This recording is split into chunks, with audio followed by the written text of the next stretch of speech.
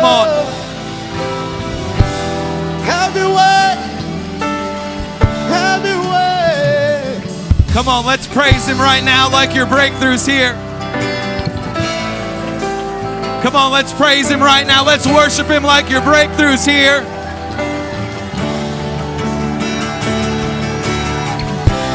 Come on, let's praise Him right now in spirit and in truth. Your breakthrough is here right now. Right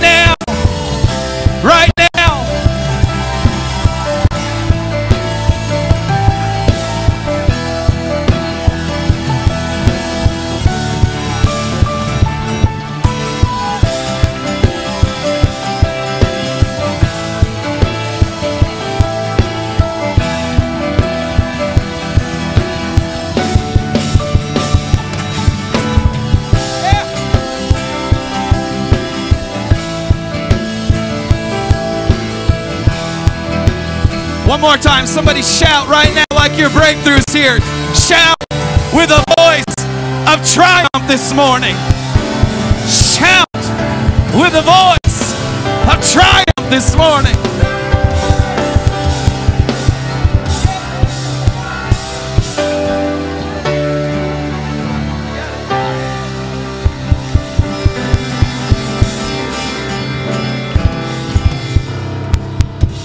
Before you're seated, lift your hands with me right now. Lord, we're asking you to be here.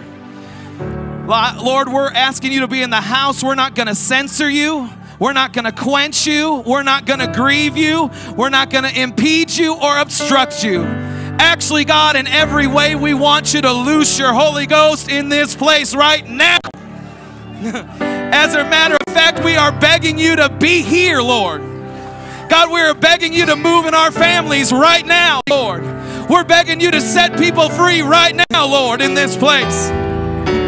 Every promise is true, God, and we want you to loose it in your house this morning. Somebody say, in Jesus' name. High five your neighbor this morning as you're seated.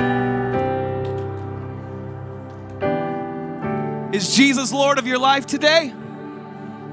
Is he still King of Kings?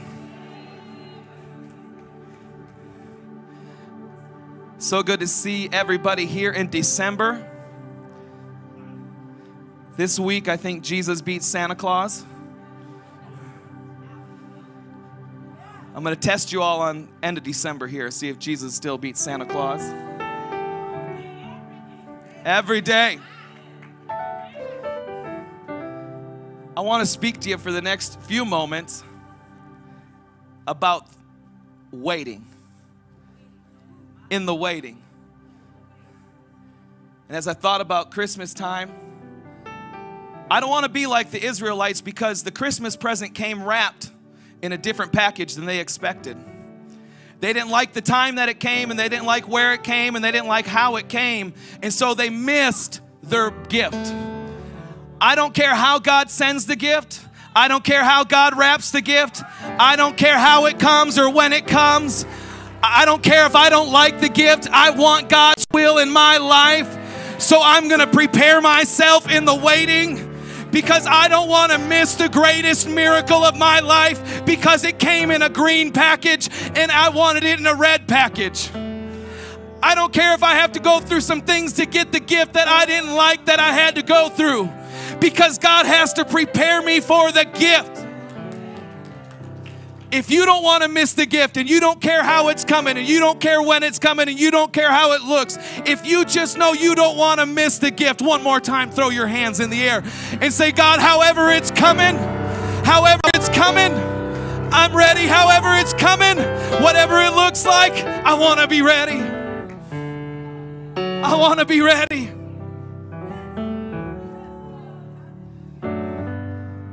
Dr. Seuss says this that we're waiting for a train or, or to go or for a bus to come or we're waiting for a plane or the mail to come. We're waiting for the rain to go or the phone to ring or the snow to snow or waiting around for a yes or a no. Or some of us are waiting for our hair to grow.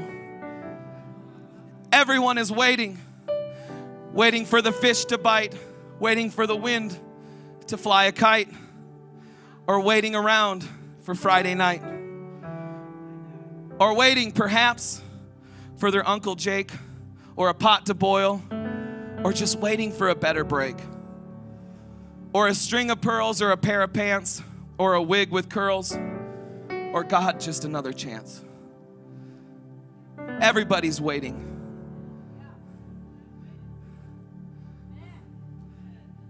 Don't mind waiting for you, Lord. See, a few years ago, I was try, trying to travel home.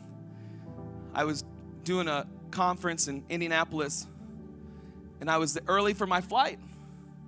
You know, you got to get there early to go through TSA, then you got to get there early to sit for your flight, then you got to get, right? So you hurry to wait. And I had a long, coming from Indy to San Diego with a layover.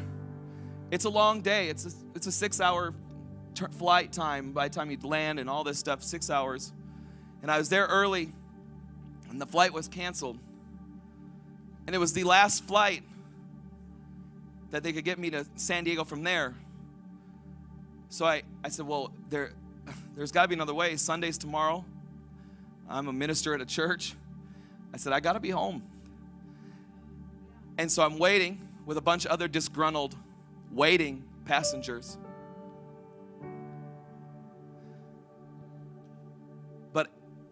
When I finally got home,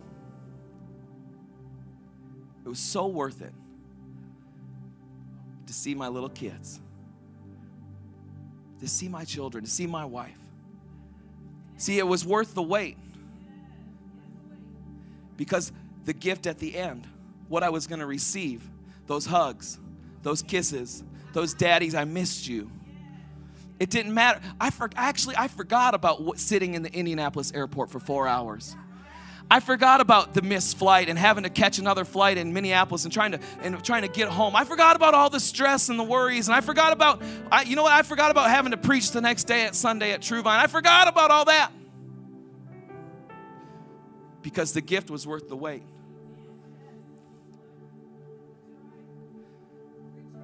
Life is full of waiting, sad times, good times, bad times. In fact, waiting is probably one of the most irritating experiences we have. You go into a waiting room at the doctor's office, magazines from 1992 announcing President Bill Clinton and Minnesota Twins winning the World Series. The last time the Minnesota Twins ever won anything. You're listening to TV shows in a language you don't even understand. Sitting there waiting. And there was a story about a man who went into the doctor and waited for an hour in the lobby. Then he went into the exam room. They shut the door. He waited another 45 minutes. The doctor came in and sat down looking at his chart. He said, How old are you? The old man sarcastically said, Do you want to know how old I was when I got here or how old I am now? Doctors' waiting rooms are awful. You have no idea how long it's going to take before you're called. They, tell, they call you the day before, you tell you to come in early, and then they're late. You have no control over anything. The glass window that separates you and the receptionist looks bulletproof. Somebody comes in after you but gets called before you. The music is driving you nuts. And how about everybody coughing, sneezing, breathing on you, and you don't know what they got? God sends us to waiting places. His waiting room is part of our plans. We don't know how it's going to happen, we don't know when it's going to happen, but we know it's going to happen. It's part of God's waiting plans. If you have your Bibles, turn to Acts 1, familiar passage of Scripture. We're going to go 2 through 9. And we're going to break down this story a little bit. Acts 1 2 through 9. It says, Until the day in which he was taken up, this is Jesus, he was taken up, his ascension. If you're able to, would you stand with me for respect for the word of the Lord?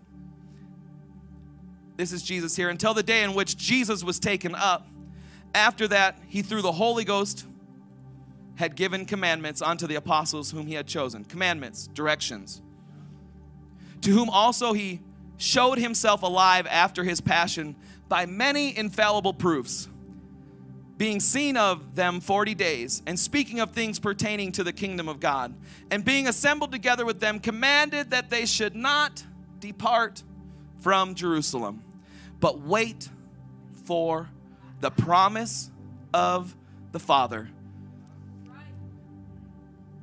Which saith he, Ye have heard of me. For John truly baptized with water, but ye shall be baptized with the Holy Ghost not many days hence.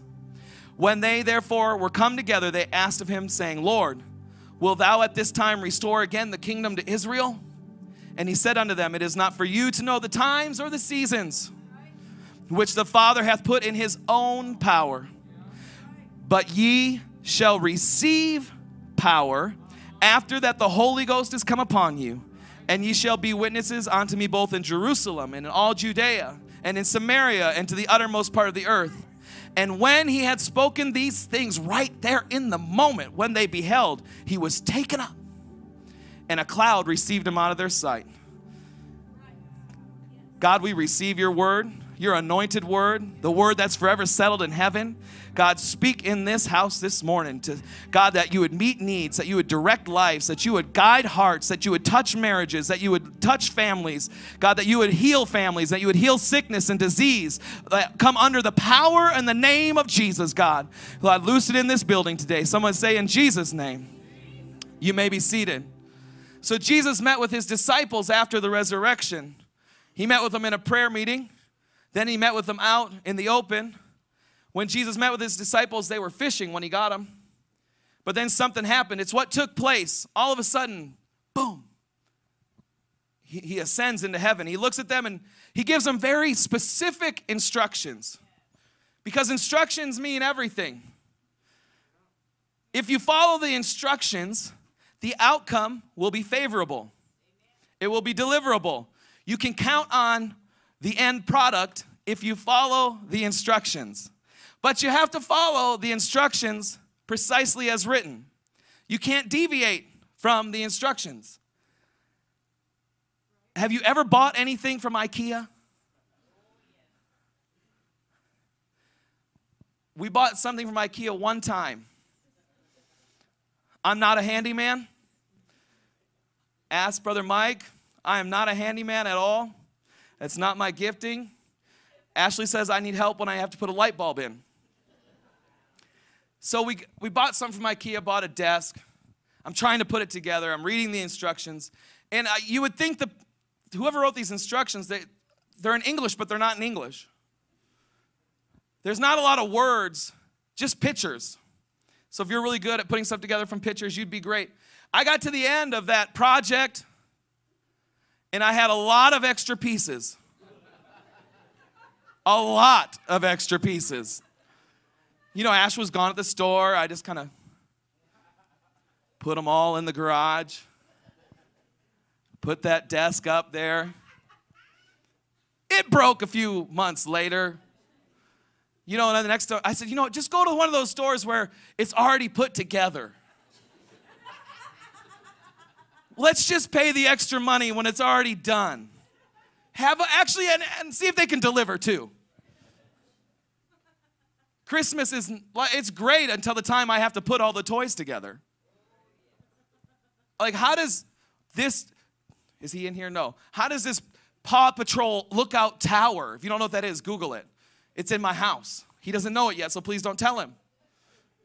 And I'm thinking, I don't even want to open that box because the box is like this tall. And I'm thinking all the pieces in there that I'm gonna have to put together. And you know how it is with kids' toys, you get to the end and you can't go back to the beginning because you like you're trying to, so you just hope it works for three or four months, kid. But instructions are important. I'm not good at following IKEA's instructions. But Acts chapter 1, these instructions are what Jesus speaks to his tribe, his people, right before he ascends. He left instructions to the apostles. They were, they were chosen by what? The Bible says by the Holy Ghost.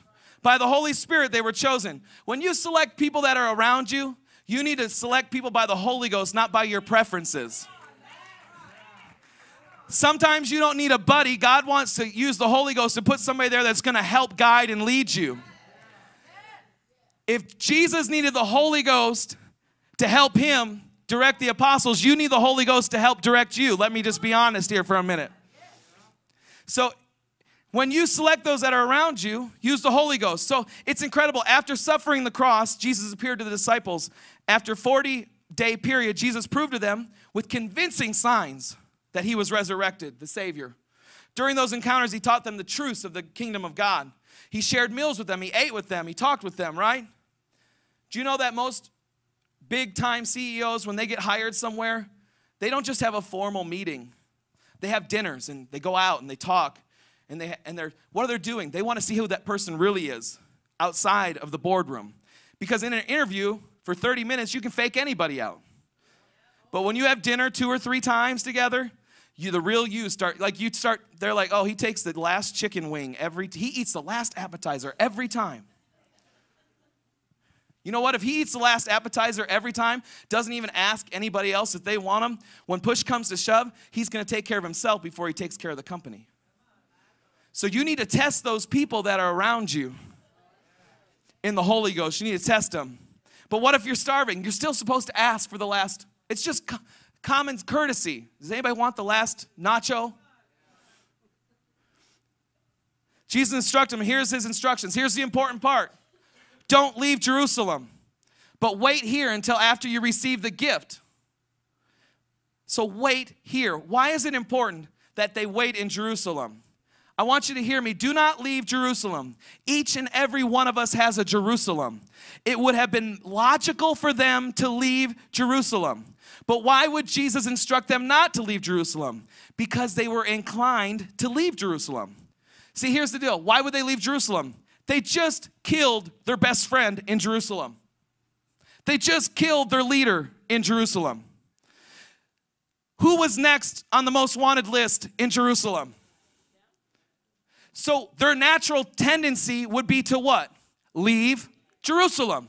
So Jesus, very important. He says, Look, there is something very specific and very powerful about Jerusalem, and I want you to stay here. So many times in life, when things get tough and things get rough and things get, we lose our job or we go through a situation, we want to leave our very destiny that God has called us to be at.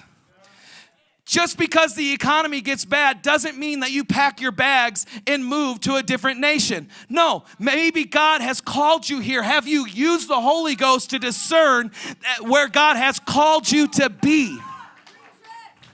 There's a reason why you're in Temecula. There's a reason why you're in Murrieta. There's a reason why you're in Menifee. Because God has placed you here by His direction.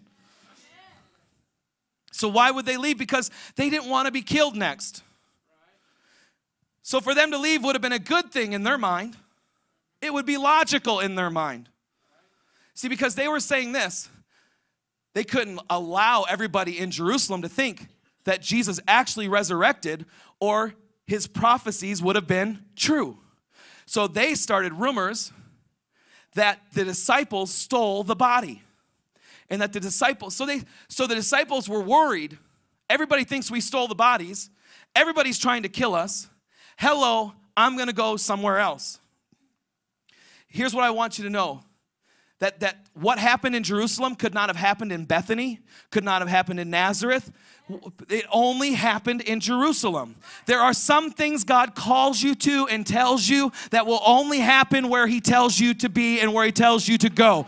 It might not be logical for your mother, it might not be logical for your father, but it is logical for you because God spoke it to you. Where you are and who you are determines how you are. So I want to be where I need to be, how I need to be, so God can give me the gift that I'm supposed to get. So I have to stay in my Jerusalem, I have to stay in my destiny. Have you ever dro- drove into a city or you flew into another country and you flew into an area and you just felt something different? It wasn't home. I'm not trying to be super mystical or super crazy, or, but I'm telling you, a couple years ago, Ashley and I flew in to do a camp in a, another city on the East Coast, and I won't get in all the details, but you could feel, when we drove into that city, you could feel an oppression. There were things that couldn't happen in that city because of the oppression that was in that city. There are things that we're blessed with here in Temecula and in America and in San Diego that we have people have gone before us and prayed through some things so the gift can come. So if you remove yourself from the area where the gift is going to fall, you're not going to receive the gift. Here's what's important about Jerusalem Jerusalem was not just any city, it was the prophetic city of destiny. It was the city David conquered. Let me get, I'll get you, I'll get back to this. Let me put this in perspective. 2 Samuel 5 6. It wasn't just any place, okay? That's why they had to wait in Jerusalem. And the king, Go back to 2 Samuel 5 6. Look this up when you get home. And the king and his men went to Jerusalem against the Jebusites. And the inhabitants of the land who spoke to David said this You shall not come in here, but the blind and the lame will repel you. They said, David cannot come in here.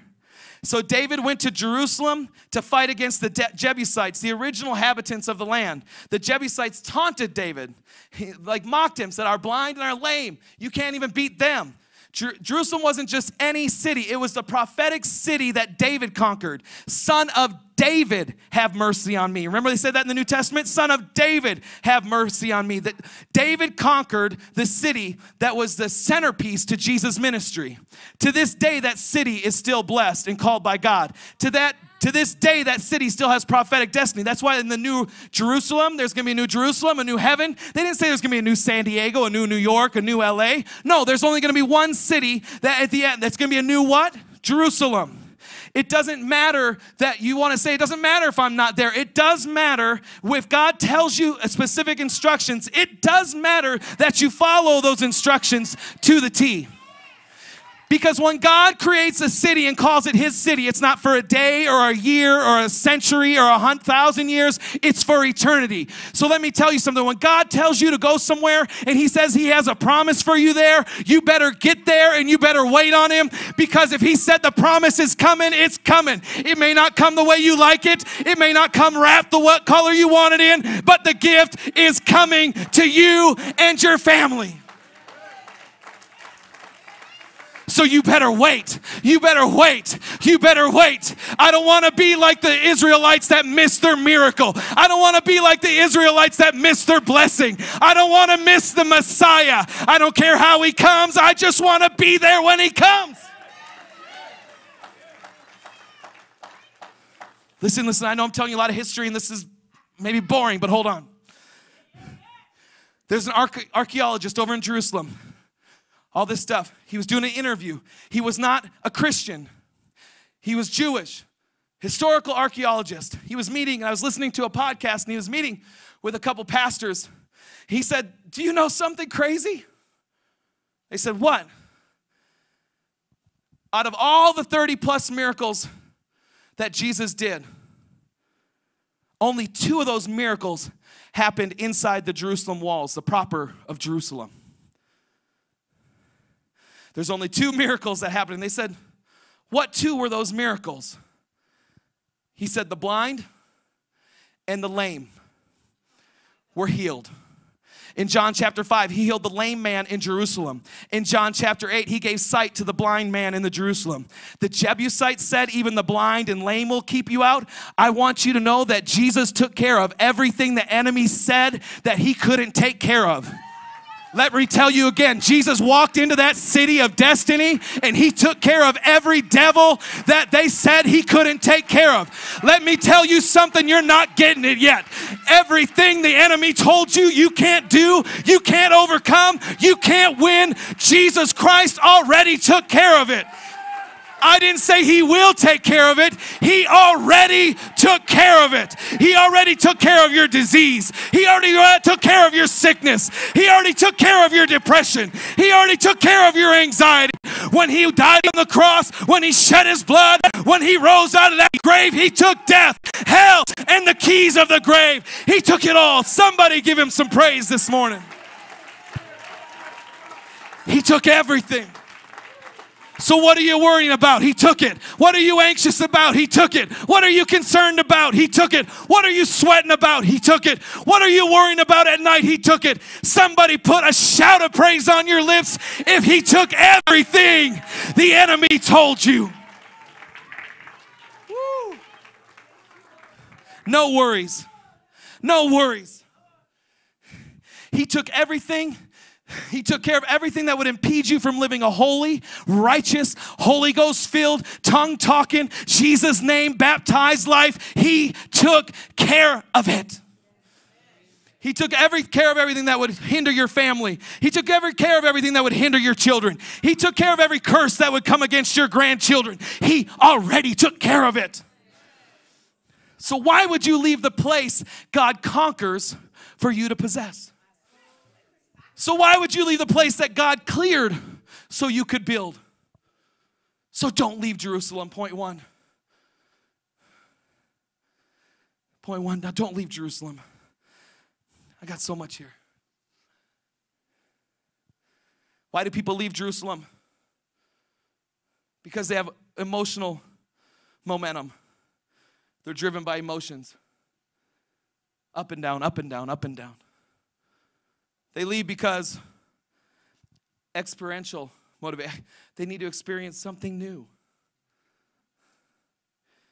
You know how many people I've talked to in relationships? Well, I just, I left, I just needed a new experience. You don't need a new experience. You don't need a new wife. You don't need a new husband. You need a new altar call. Because the gift will transform you. We'll get to that. They leave because of ego, because I can. Okay, okay, let's the next. What, what's coming your way is worth it. How many here struggle to wait? To be honest, you have a hard time waiting in line. You walk into Starbucks, there, and this time of the year, there's 12 people in front of you. You calculate three minutes a drink, 36 minutes, you walk out. But you forgot about the 10 minutes it took you to drive there, the five minutes it took you to walk in, the four minutes it took you to make your. So you just wasted 19 minutes because you calculated the gift was not worth the wait. You've done it at the grocery store, you've seen people leave their carts. How long did they shop to get all that junk? Get to the register and, like, oh, no way. I mean, you're tongue talk, Holy Ghost, baptized Jesus' name person till you get on the 15 South at 8 o'clock in the morning. And you try to keep the Holy Ghost until you get to about Fallbrook and the devil just ascended in your car. I've seen some of you on the, on the 15 and the 91. I'm like, I don't even know if they went to church last week. Waiting, right? It stinks. How many of you ever went to Disneyland or Universal Studios? You shelled out $125 per beautiful child to get in a line that some of them take 90 minutes to ride a 35 second ride. But what it, the gift, the wait is worth it. How come you'll wait at Disneyland for a silly ride, but you won't wait on the gift from heaven that God has called you to?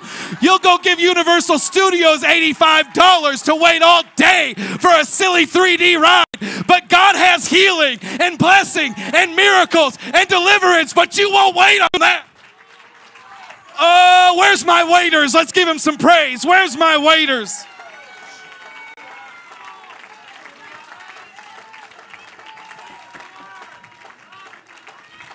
See, it's difficult to wait. It's di- he could have told him wait 30 days, wait 39 days, 4 hours and 38 seconds, but he didn't do that. He could have cuz they could have left and came back. They could have did it on their terms. But he told him to wait because waiting is hard, waiting is difficult. Waiting is a challenge. Waiting tests our patience. Waiting puts our faith on trial. When you believe the promise though, when you know that you know that you know that you know that God is real, you will wait. You will wait. You I ain't going nowhere. I ain't turning back. I'm not going back to the booze. Why? Because I'm waiting on the gift. There are things that are specific to the waiters. There are blessings that are specific to those that wait. Those that wait upon the Lord shall renew their strength. They shall mount up with wings as eagles. They shall run and not be weary. They shall walk and not faint. I don't know if we're getting this here. The Bible says there are certain blessings connected to those that are willing to wait. Hence the term waiter and waitress. Can I help you? Can I take your order? What would you like today? Would you like an appetizer? Oh, you need more time. It's okay, I'll come back. They don't get upset. They don't get angry. They don't, why? Because they know at the end of the night, they're gonna get a reward. So they're happy as, let me help you. You want me to take your jacket off? Oh, let me hang your jacket up over here so it doesn't get wrinkles. So you go to a nice restaurant, they take the crumbs off the table in between, in between your appetizer and your main course. When you go, go, go to Ruth Chris. You can borrow some money from Renee and go to Ruth Chris. All right? Chavez, he's got like nine kids. He has to have money. Okay? First time I ever went, someone took me for my 30th birthday. We're from Minnesota. We're from the country. Like, we killed our own cows and ate them, okay? They take me down to San Diego on the water. This is when I lived in Orange County. It was like a day trip. We went down there. And they, I sat down in the white linen, and it was like spotless white linen. Like no wrinkles or nothing. This ain't Denny's, folks. They, they came between. I got ordered. I eat bread. I'm, you know, I'm like my daughter. Just we eat and it's everywhere. And they came. They had this cool little thing, and they just go, "Whoa!" Then they brought out this, and they brought out that. I was like, I'd never seen anything like that. They don't do that at McDonald's.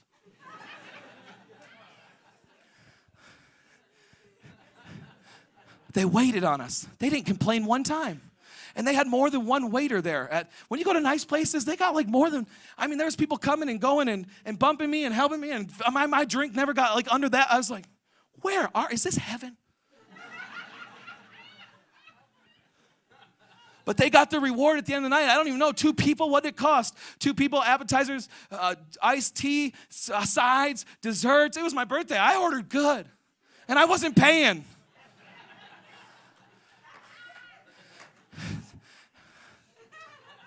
He said, You want dessert? I said, Yes, sir. They waited on us. Here, let me help you. The Bible says there are promises to those that wait. Here it is. If you wait, you'll have renewable strength. Your strength will be renewed. I'm speaking to every tired person in the room here, a tired person under the sound of my voice. You're exhausted by life, by the actions of others, or the actions of yourself. Whatever it may be, God release some renewable strength on the waiters here. Release some renewable strength on the waiters here. If the strength of God, let it be renewed in the house because the gift is worth the wait. You will mount up with wings as eagles.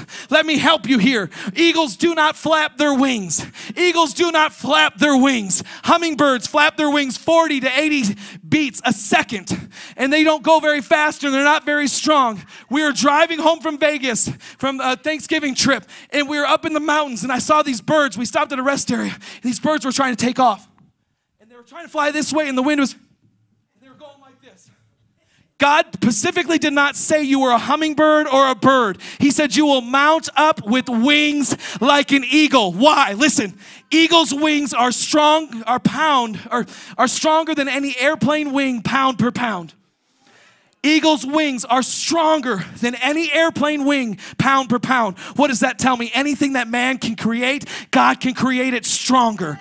Any storm you're going through, Quit flapping your wings and start soaring.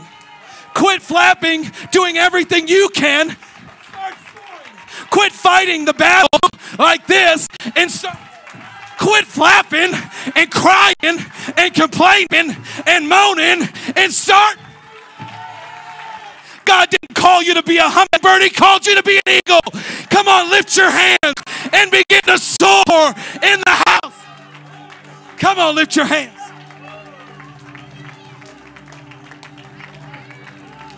I'm ready, I'm ready, I'm ready. I'm ready, I'm ready, I'm ready. I'm ready, I'm ready. The Spirit of God is here empowering you right now. Lift your hands. He's mounting you up with wings as eagles to fly over your problems, to soar over your troubles, to get over your drama. You will walk. What does that mean? You will be mobile. which is the opposite of stagnation. It's opposite of complacency. You will be mobile. You will move. You will go forward. You will not faint. What does that mean? You won't fail. You won't fail. You won't fail. The enemy's told you you're a loser. The enemy's told you you're going to fail. The enemy's told you you're never going to make it. But I'm here with the word of the Lord for you. You will not fail. Here's the last promise. If you wait, he will lift you up. Psalms 37 34. He will exalt you to inherit the land. You will look on the wicked as they are cut off. You missed it. When you wait, God gives you an inheritance. You missed it. When you wait, God gives you a piece of land. When you wait, God gives you an inheritance. When you wait, you will get something other people won't get. When you wait, you inherit the promise. My inheritance is not for my sake. The psalmist says, The inheritance is for the sake of my children and my children's children and my children's children. You missed it if God tarries 30, 40, 50, 70 years. There's going to be some young people that are uh, going to be grandmas and grandpas by then that are going to say, Because of you, because of my mama praying in the middle of the night, because my daddy got up early before work and prayed, I'm here. Let me your children will not inherit your curses because they've already been broken. Your children will not inherit your weaknesses, they're already covered by the blood. Your children will only inherit the promises and the blessing and the overflow. They're not going to inherit anything else. Lift your hands if you believe this. Receive it right now. John 10 and 10. That's the abundant life the abundant life. Your children won't inherit your failures. Your children don't inherit your curses. Your children don't inherit your sins. I'm helping somebody here this morning. Your children will not inherit the demons that held you down. Your children, your children will inherit the overflow.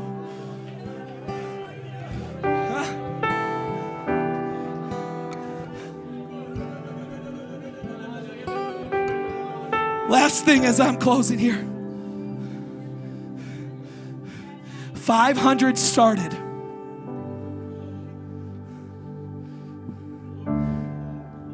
Five hundred started the wait, but how many made it? 380 people. 380 missed the gift. God help me to be in the 120. Because when the storms come, I'm not to fly, I'm to soar.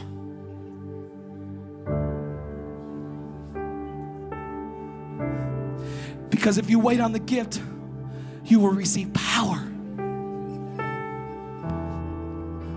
Because Corinthians says, For where the Spirit of the Lord is, there is liberty, freedom. I love all the high tech stuff. I love everything we got here. I want more of it. Ask Pastor.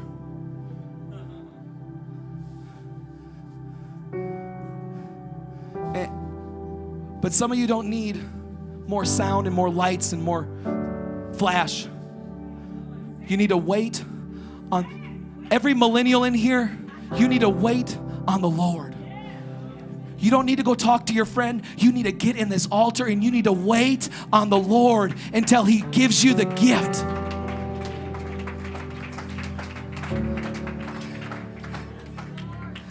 In the name of Jesus.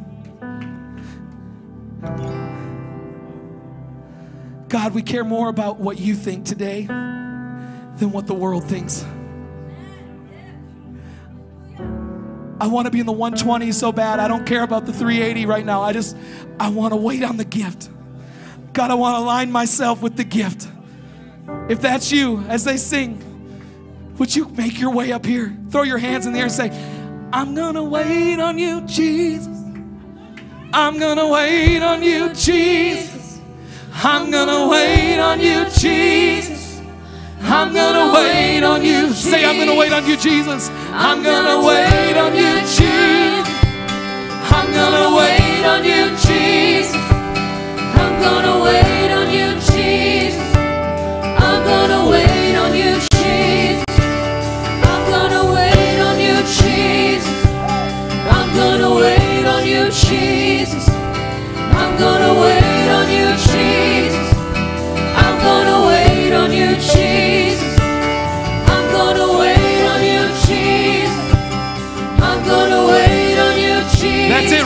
comes the gift. Here comes the gift. Here comes the gift. Here it comes. Here it comes. I'm gonna wait on you, Jesus. Yes. I'm gonna wait on yes. you, Jesus. I'm gonna wait on yes. you, Jesus. I'm gonna wait on you, Jesus. Here it comes. Here it comes. Here it comes. I'm gonna wait on you, Jesus. I'm gonna wait on you, Jesus. I'm gonna wait on you, Jesus.